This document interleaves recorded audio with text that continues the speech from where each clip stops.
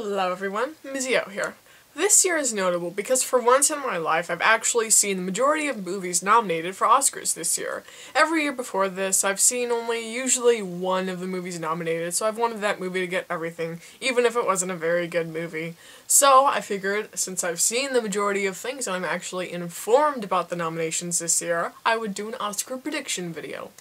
So, this video I'm just going to be discussing the categories and the people and movies nominated for certain things. And I'll say what I think should win and what will probably win. So, without further ado, let's get on to it.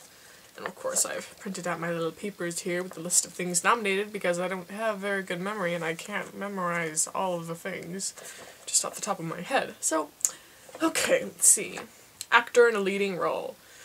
I've seen all of the ones nominated in this one, except for Biutiful, and Xavier Bardem, who I like. Um, he's in Country, No Country for Old Men. Um, he was nominated for in a, for a foreign film called Biutiful, and I have not seen that one. I wanted to see that one because it looks like a movie I would like, but I did not get the chance to see that. But I've seen everything else nominated in that category. We have Jeff Bridges for True Grit, Jesse Eisenberg for Social Network, Colin Firth for, Colin Firth for The King's Speech, and James Franco for 127 Hours. There's some tight competition. So I was going to go with Jeff Bridges at first for True Grit because he was fantastic in that role. But after seeing The King's Speech, Colin Firth was really amazing in that role. Um, both roles, I think they had to probably put a lot into them, and I would not be, I would be happy if either of them got it. Jeff Bridges is certainly my second choice, but I think I'm gonna have to go with Colin Firth, especially since uh, Jeff Bridges actually did get the Oscar for Crazy Heart Best Actor last year, so maybe give Colin Firth a bit of a chance. James Franco and Jesse Eisenberg, they were both really, really fantastic in their movies too. Each person that I saw at least was really good in their roles in this category. But I'm still just gonna have to go with those two, even if I like all of the nominations. I think though that Colin Firth is going to get it for that movie. So, oh, it's pretty, pretty cut and dry, that category, I think. So moving on, we've got actor in a supporting role. Now the nominations for this category are Christian Bale in The Fighter, John Hawkes in Winter's Bone, Jeremy Renner in The Town, Mark Ruffalo in The Kids Are Alright, and Geoffrey Rush in King's Speech. Now, The Town is the only movie in this category I've not seen, so I can't really make a judgment on that. But I've seen all the other ones, and out of these picks, I would probably have to go with Christian Bale for The Fighter. Geoffrey Rush is probably my second choice. Both roles were very, very good. Um, but I think it takes a certain talent to be able to pull off a drug addict really well. I, I've seen movies like Trainspotting, Spun, and you have to be a really talented actor to do it convincingly, and Christian Bale was just really good in that role. Geoffrey Rush was really good in his role too, and if similar to the actor in a leading role. Um, if either of them got it, I would be happy, but my first pick is probably Christian Bale. Um, John Hawkes in Winter's Bone was was pretty good. He didn't have a huge role in the movie. I mean, I guess it was fairly significant, but I mean, it wasn't really anything too spectacular. He was good in it, but I don't I don't. It wasn't Oscar worthy. Same thing with Mark Ruffalo. Mark Ruffalo was he had a very significant role in The Kids Are Alright, larger than John Hawkes. He's not a very good actor. I mean, uh, uh, okay, maybe that's... It's not that he's a bad actor, just that God, it's not Oscar-worthy. It's just not. I mean, I like him, but he's, he's not an Oscar actor, so to speak, so yeah, I'm gonna have to go with Christian Bale on that. I think it's definitely between Christian Bale and Geoffrey Rush as far as who is probably going to get it. I think that considering King's Speech will probably run away with most of the awards, there is actually a pretty decent chance that Geoffrey Rush will get it for the King's Speech. But at the same time, a lot of people say Christian Bale too, so it could go either way, that one. Now we have actress in a leading role. I'm not quite as informed on this category as I'd like to be, but we have Annette Bening for The Kids Are Alright, Nicole Kidman for Rabbit Hole, Jennifer Lawrence in Winter's Bone, Natalie Portman in Black Swan, and Michelle Williams in Blue Valentine. Now, I haven't seen Rabbit Hole or Blue Valentine, though the latter, Blue Valentine, is a movie that I would like to see, but I just was not able to, unfortunately, before the Oscars. Uh, Rabbit Hole, Nicole Kidman kind of annoys me, so meh, I don't really have much interest in that. Nicole Kidman also is not a good actress. The only things I liked her in were Moulin Rouge and The Others. I don't know how popular The Others is. I haven't ever heard it even referenced, but she's just not a good actress, and she certainly isn't worthy of getting an Oscar. I'm definitely gonna have to go with Natalie Portman for Black Swan on this. She was just so amazing in that role. You're just you you were just blown away by how convincing she was in that. She was simply amazing, and it just makes me respect her even more as an actress now. And I liked her before I saw Black Swan, but she was just so so good in this role. Annette Bening would probably be my second choice. She was she was very good, and the kids are all right. Um, Jennifer Lawrence. I'm actually surprised that she was nominated for this. Kind of like um, John Hawkes for actor in a supporting role. She was good. She was very good in her role, but I don't know if I would go as far as to say it was Oscar worthy. I would actually go as far to say that Hailee Steinfeld, the girl in True Grit, she deserves the nomination for actress in a leading role much more than Jennifer Lawrence in Winter's Bone. So yeah, and Natalie Portman I think is pretty cut and dry. She's gonna get this one. I don't think anyone is disputing that. Okay, actress in a supporting role. Amy Adams, the fighter, Helena Bonham Carter, The King's Speech, Melissa Leo, the fighter, interesting that two women from one movie are being nominated in, in this category, Hailee Steinfeld in True Grit, and Jacki Weaver in Animal Kingdom.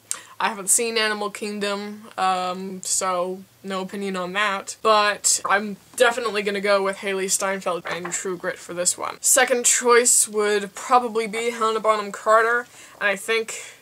Uh, I'm not sure. This one is actually kind of tough to decide. I mean, it's no question for me. I would love to see Hailee Steinfeld get it, but I'm not sure if she's going to, in part because of her age. I mean, she's going up against Helena Bonham Carter. I would go as far to say, though, like I said before, Hailee Steinfeld it's, it wasn't a supporting role. She was the main character. Maybe it's just because of her age that she wasn't nominated in Best Actress, but I, I think she deserves that nomination much more than Jennifer Lawrence from Winter's Bone.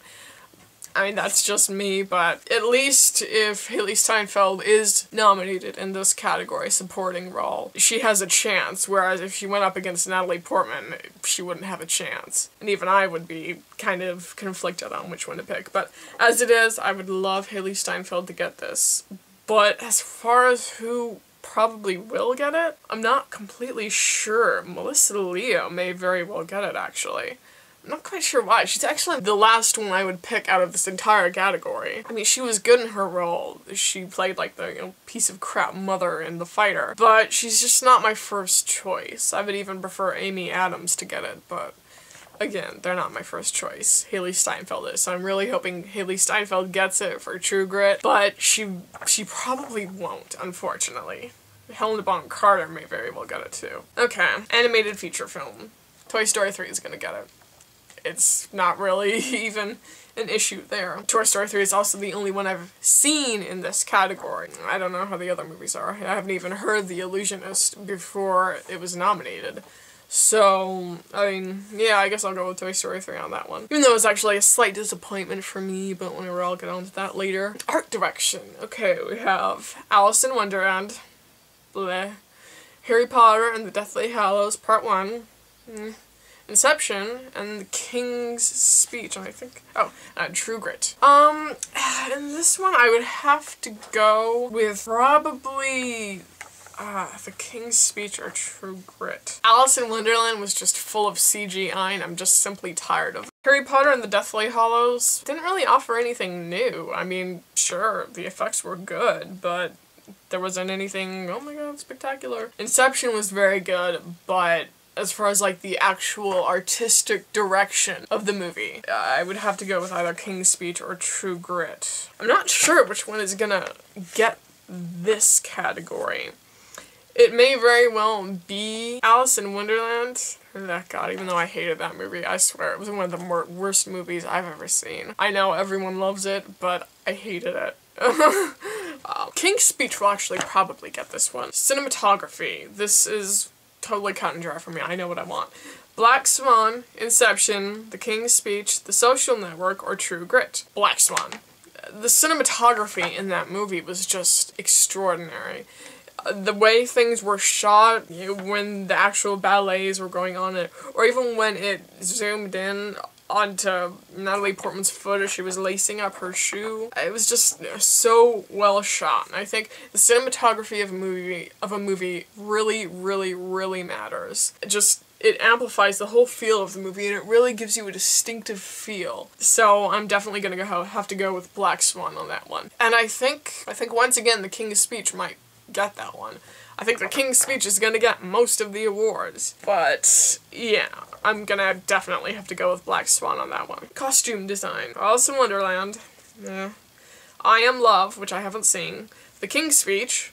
The Tempest, which I also have not seen. I haven't even heard of I Am Love or The Tempest. I have no idea what those movies are. Or True Grit. Um, Alice in Wonderland. No. King's Speech or True Grit. I loved how... I just love the look of the the era of True Grit. I love just how everyone is dressed there and everything. So I personally will have to go with True Grit on this one, but I think The King's Speech will probably get it. Directing. We have Black Swan, The Fighter, The King's Speech, The Social Network, or True Grit. Now, okay, when I saw 127 Hours, my immediate thought was, wow, Danny Boyle should totally get the nom the um the award for directing for this movie. This movie is so well directed. But then I went on and saw the nominations again, and I found out that he was not nominated in this category. Can someone explain that to me? Tell me why Danny Boyle is not nominated for directing for 127 hours? That movie was really, really, really well directed. God, ridiculous. But I guess out of all these picks after that, I would have to go with The Social Network, surprisingly enough. Surprisingly enough, because you'll see some of my thoughts on that movie later on. But, um, yeah, out of all of these, it'll probably be between the King's Speech and Social Network, but I personally am wanting the Social Network to get it because that movie was really well directed. And once again, like with the cinematography, the whole movie is directed really goes towards the whole feel of the thing, and that was just, it was really well directed. Film editing.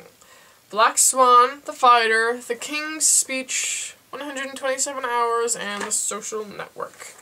Now this is pretty cut and dry for me.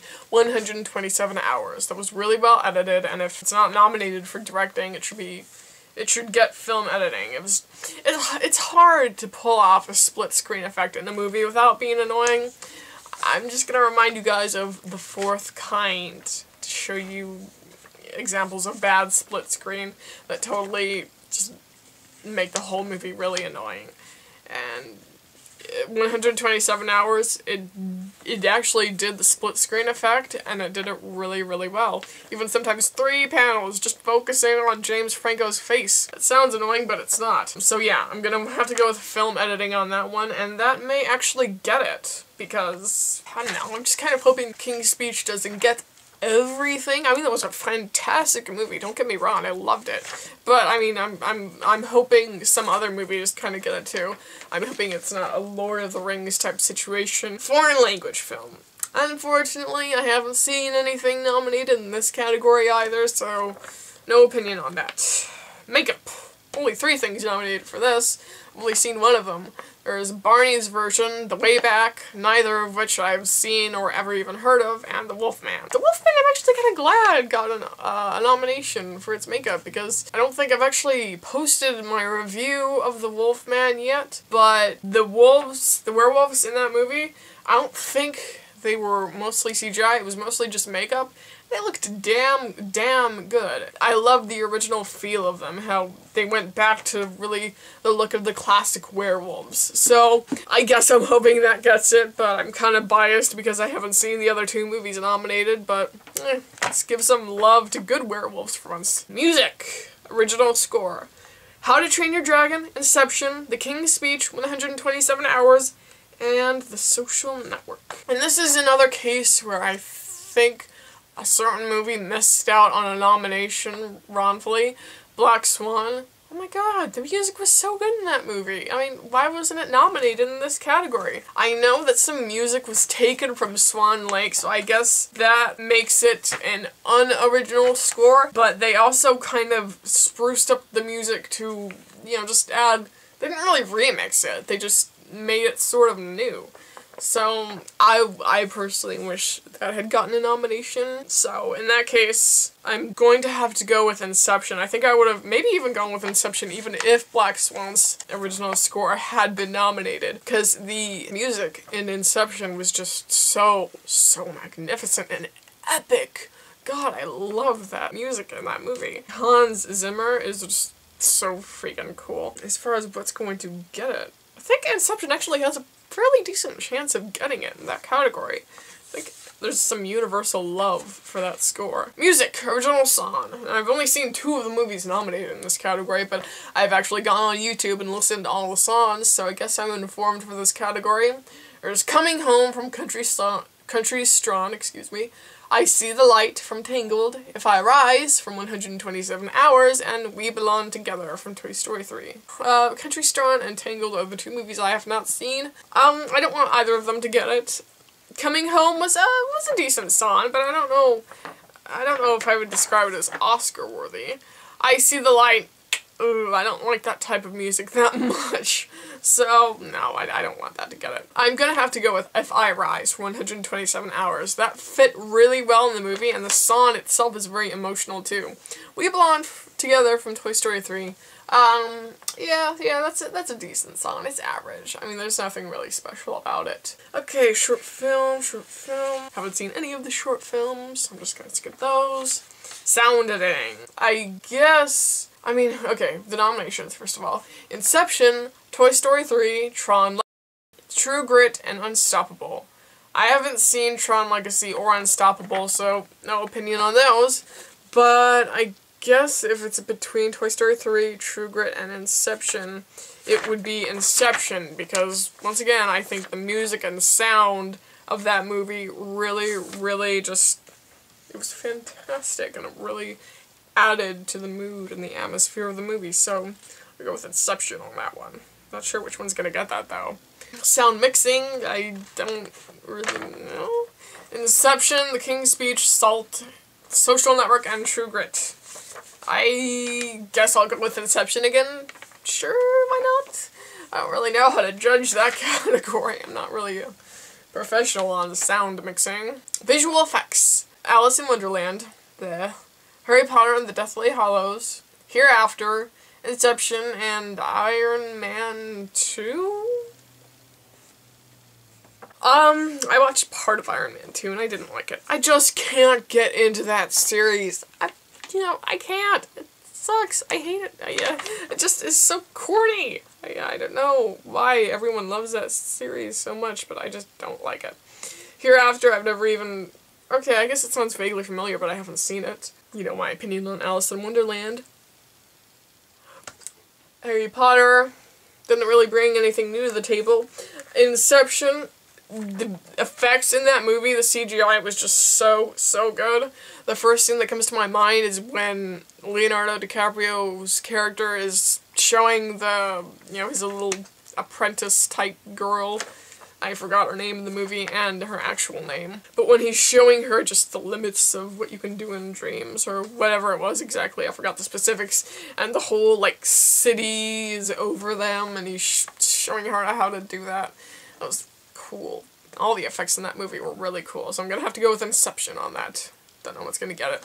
Alice in Wonderland is probably gonna get it. Ugh. Writing adapted screenplay and writing original screenplay. To be honest, I don't have much of an opinion on these categories. I think adapted screenplay and original screenplay are probably really close, and since I'm not really a professional on screenplays, even if I plan on writing my own one time in the hopefully near future, I don't really know because I haven't read the screenplays for these movies.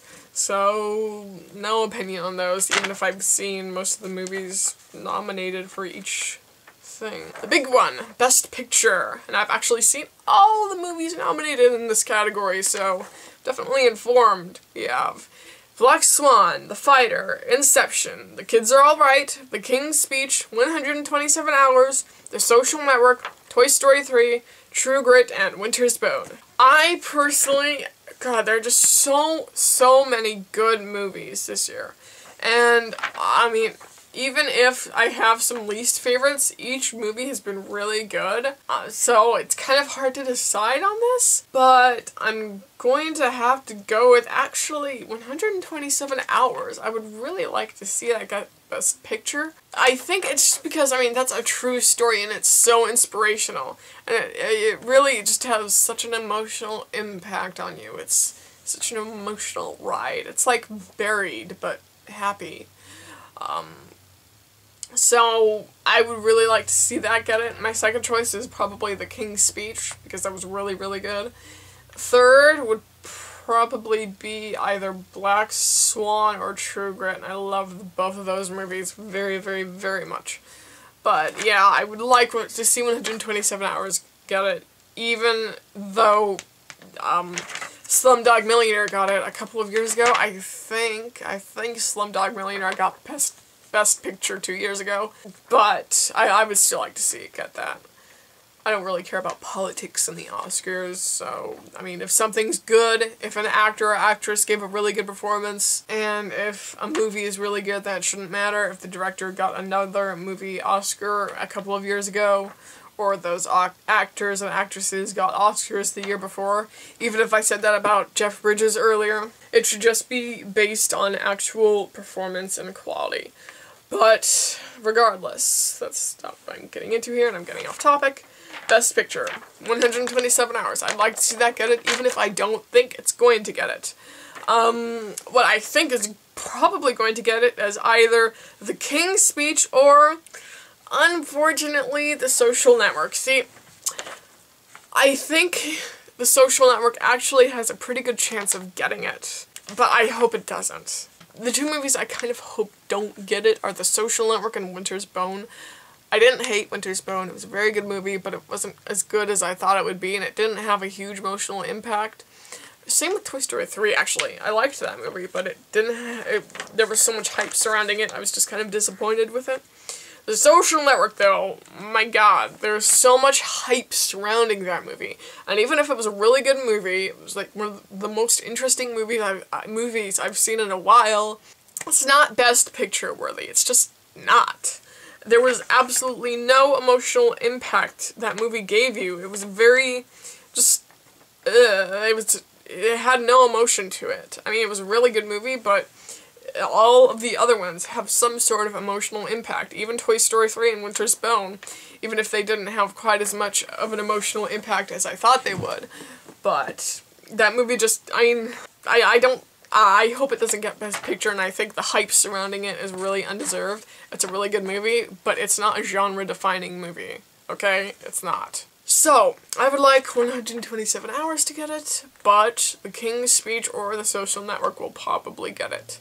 So, yeah, that's pretty much it. Those are all the categories now.